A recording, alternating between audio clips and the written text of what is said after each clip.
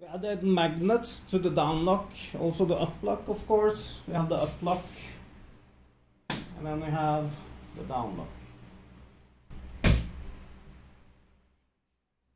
This is two, two magnets, two 10 kilo neodymium magnets and um, the plan is to add four. The thing is, I have a problem opening this now.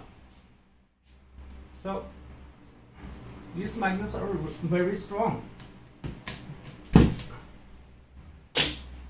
Of course I need to add handles.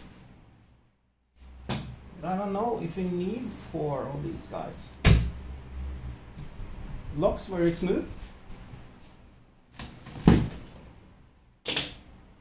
Of course we have the seals. This is E profile seals. I don't know if we're going to change them to P. We might try P What's better, P or E? I don't know. What do you think?